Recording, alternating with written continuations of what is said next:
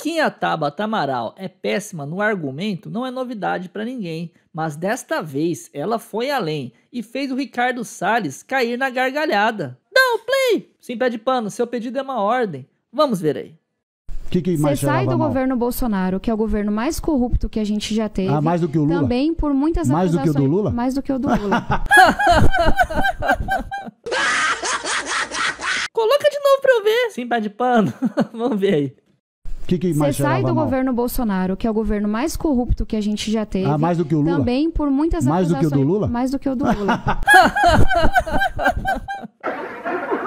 o orçamento secreto é Para com muito isso. maior do que foi o mensalão. O maior roubo da E história aí da você humanidade. sai Lula desse aí. governo. Esse- Você tem esses números pra pra dizer que é maior do gente, que o o do... orçamento secreto é 20 bi. 20 mil o PT roubou no primeiro mês de governo na 30 mil Petrobras. por-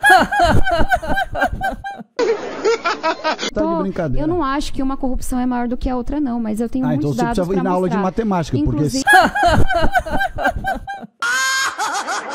100 bilhões não é maior que não 20? precisa em aula de matemática. Eu sou muito boa Tá, em matemática, inclusive. Tá aparecendo. Tem que rir pra não chorar. Tem que rir pra não chorar, né, pé de pano? Tá certo. Olha o absurdo que a Tabata Amaral falou pro Ricardo Salles. Nem ele aguentou e caiu na gargalhada.